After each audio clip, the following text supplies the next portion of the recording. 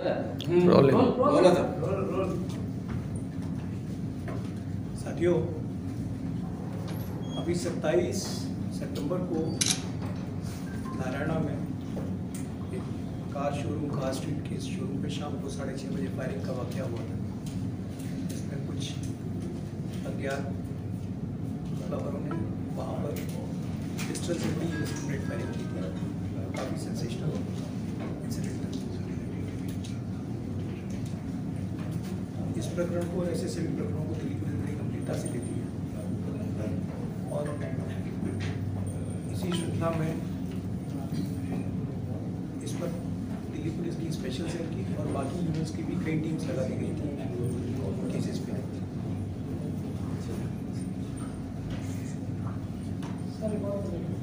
इस केस के चार लोग जो इसमें इन्वॉल्व थे वो चारों के चारों दे हैव बीन अरेस्टेड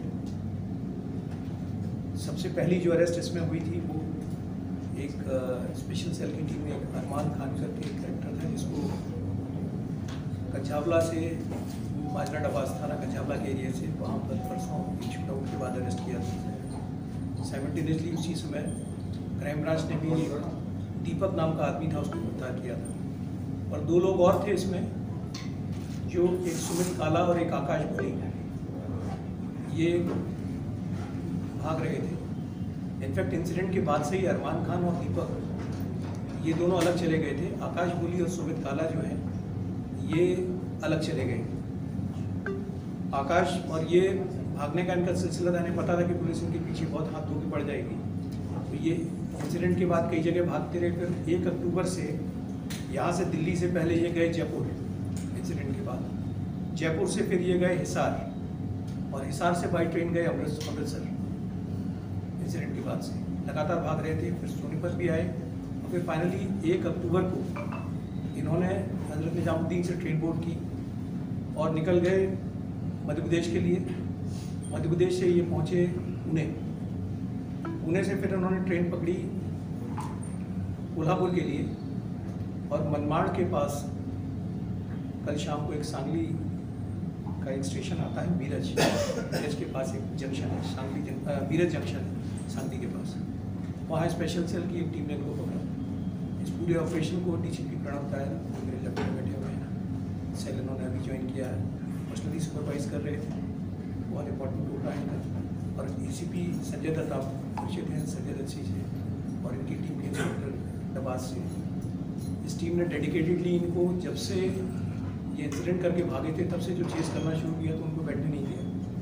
इनको कुछ कुछ अंदाज था कि पुलिस हमारे पीछे है सारे पॉसिबल प्रिकॉशंस ये ले रहे थे। उसके बाद भी बड़े मेटिकुलसली पॉइंट बाय पॉइंट एक एक सीसीटीवी से, अपने सोर्सेज से और फ़िज़िकल चेजिंग ये मैं समझता हूँ हाल फ़िलहाल में एक बहुत बड़ी चेजिंग थी कि आदमी सत्ताईस तारीख से भाग रहा है, लगातार उसके पीछे टीम भाग रही है। और कल भी ये ट्रेन में पीछे ही चेस कर रही थी। फाइनली जाके इनको आइडेंटिफाई करके सांगली के पास में जो बीरज जंक्शन है, वहाँ से पकड़ा। ये पूरा का पूरा जो सिंडिकेट था, जिसने फायरिंग कराई थी, वो एक यंगस्टर है, हिमांशु भाऊ लिटोली उसका था, जो कहीं बाहर बैठा हुआ है, वहाँ से कॉल करता है। और युवाओं को अपने गैंग्स में ये ल्योर करके ले आता है। इसमें जो एक कैरेक्टर है, जिसको हम सुमित काला कह रहे हैं ये उनतीस साल का है। बेसिकली चरखी दादरी का रहने वाला है। बाबा फाइनेंस के नाम से गुड़गांव में इसका एक ऑफ़िस है। दूसरा जो आकाश बुली है, ये उन्नीस साल का है। सॉरी मैं थोड़ा उल्टा बोल गया। इमलोटा का रहने वाला है सुमित और गुड़गांव में इसका फाइनेंस का ऑफ़िस है। और आकाश बुली जो है, ये चरखी दादरी का है। और ये इसके घर में सिलाई का काम होता है, वो ये काम करता है। इनकी अरेस्ट के साथ इसमें जो इन्वॉल्व लोग थे, उस दिन आपने देखा था तीन शूटर्स आए थे एक दीपक जो है वो बाहर था। दीपक बाहर था, इनके इनका वेट कर रहा था। बेसिकली ये चार लोग आए थे तीन अंदर शूटिंग के लिए आए थे दो ने इनफैक्ट फायरिंग की थी और एक आदमी। बेसिकली उसका काम था सबूत बटाने का कि खोल बिल लेना या वो कर लेना। हालाँकि वो सक्सेसफुल पूरी तरह से नहीं हो पाए तो ये पूरा का पूरा बॉडी पकड़ा गया है। जो हिमांशु गौर रिठोली है उसके खिलाफ जो एक्शन हम बच्चे एम एच एम ए लेते हैं लीगल एक्शन में उसकी तैयारी हमारी चल रही है। थैंक यू तो मोटिव क्या है इसका? मोटिव क्या था? सर रंगदारी या कुछ और? इसका मोटिव डेफिनेटली रंगदारी था और ये जो कार शोरूम वाला है इससे ये एक्सटॉर्शन का अटेम्प्ट था इनका पाँच करोड़ का एक्सटॉर्शन एक्सटॉर्शन करने वाले थे। इसलिए टारगेट जो है कार शोरूम वाले को किया कोई कहीं से ऑर्डर आया था इसके पास? देखिए ये शूटर्स हैं ये फुट सोल्जर्स शूटर्स टारगेट कुछ और लोग भी थे टारगेट में जैसे ये लोग ऑलरेडी गुड़गांव में एक वारदात इन्होंने की उसमें भी वांटेड है वहाँ भी एक तीन सौ सात की वारदात में वांटेड है और भी कुछ इनके टारगेट्स हैं जो पब्लिक डोमेन में लाना ठीक नहीं होगा। लेकिन इनके वो टारगेट जो है नेचुरली ये पकड़े गए। इनफेक्ट हिमांशु भाऊ रटौली का पहले भी जो ग्रुप था जिसमें जब इन्होंने पहले भी इस तरह की क्राइम को अंजाम दिया था तो उसके लोग भी सारे के सारे या तो पकड़े गए या कुछ न्यूट्रलाइज हो गए। तो ये दूसरा इसका जो मॉडल था ये भी सक्सेसफुल सर पिछली कुछ घटनाओं में देखा गया है कि अलग अलग गैंग्स ने जो है माइनर्स को भी हायर किया है उन्हें वेपन देके और जो है फायरिंग करा के डराने की कोशिश की है। तो माइनर जो है नाबालिग बच्चे इनको गैंग में शामिल करने के पीछे इनकी देखिए ये इनका जो काफ़ी इसीलिए इसको ऑर्गेनाइज क्राइम कहते हैं कि काफ़ी सोच समझ के ये लोग ऑर्गेनाइज तरीके से काम करते हैं। इनको पता है कि जो जुगनाइल है, उसके खिलाफ कानून का रवैया सॉफ्ट है रिफॉर्मेटरी है।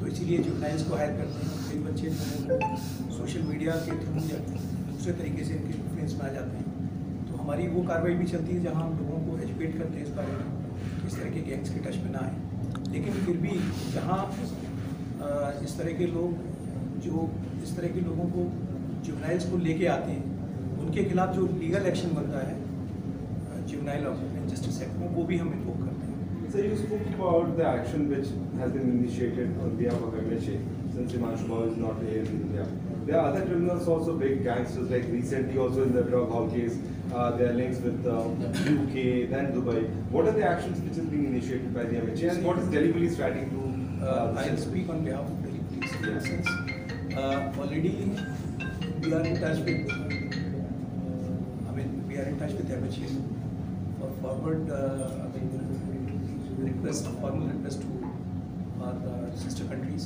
जो बाकी देश हैं, फॉरेन के देश हैं उनके साथ में। आपने पास्ट में भी देखा काफ़ी लोग जो हैं दुबई से उनको एक्सट्राडाइट करके लाया गया ऐसा नहीं लाया गया दीपक बॉक्सर का भी केस देखा था जहाँ उसको हम लोग मैक्सिको से लेके आए थे तो कई बार ऐसा इंप्रेशन आ सकता है कि थोड़ा डिले हो रहा पर ऐसा नहीं है कि ये कानून की गिरफ्त में नहीं आएँगे। ये जहाँ भी रहेंगे कानून की गिरफ्त में ज़रूर रहेंगे Sir, in this case, what about the weapons? Weapon का क्या रिकवरी हो पाएगी? उस पर भी कार्रवाई चल रही है। इसमें से एक चीज़ निकल के आती है कि वेपन लोग प्रोवाइड करा देते हैं और फिर इनसे ले लेते हैं। ऐसा कुछ चीज़ ऐसा? एमओ कई केसेस में आता है। पर्टिकुलरली हमने देखा था कि जो इसका गैंग है हिमांशु। हिमांशु भाऊ से ज़्यादा मैं कहूँगा कि लॉरेंस बिश्नोई का। गोदारा वाला जो ग्रुप है उसमें ये कई बार इस तरह की बात आता थी। पर इसके केस में जो इसके पुराने एपिसोड्स हैं उसमें वेपन्स रिकवर हुए। सर इस केस में फायरिंग करने के बाद एक जो कल पकड़ा गया था वो कारतूस खाली कारतूस लेके गया था उसको क्या हिमांशु भाऊ ने बोला था कि थाने मौके से कभी पॉलिसी का काम तो वो नेचुरली नेचुरली कई बार ये होता है कि ये जैसे एक क्वेश्चन पूछा कि वेपन ना रिकवर होने दिया जाए तो साथ में मौके से पोल भी ना रिकवर होने दिया जाए। ऐसी मंशा तो इनकी रहती है। इससे फ़ायदा क्या होता है सर? क्राइम से कनेक्ट नहीं कर पाएँगे। अगर पोल मिलेगा तो ये क्राइम से कनेक्ट करने की कोशिश करते हैं। बट फिर भी ऐसा मतलब पॉसिबल नहीं है इनके लिए कि सारे पोल कनेक्ट सर हिमांशु भाव द्वारा ज़्यादातर ये कार शोरूमों को कोई क्यों टारगेट बनाया जा रहा है? किसी शूटर ने पकड़े हुए ने कोई खुलासा किया क्योंकि देखा गया अधिकतर कार शोरूम को ही टारगेट किया जा रहा है। क्या इसके पीछे कोई कॉल सेंटर का पैसा लगा हुआ है कुछ इस तरीके की नहीं ऐसी कॉल सेंटर वाली कोई बात नहीं है। और ऐसा भी नहीं कि सिर्फ़ कार शोरूम को ही टारगेट किया जा रहा है दूसरे टारगेट्स को भी ऐसा कोई पैटर्न सर वो ड्रग हॉल में कुछ नया मिला है? छप्पन सौ करोड़।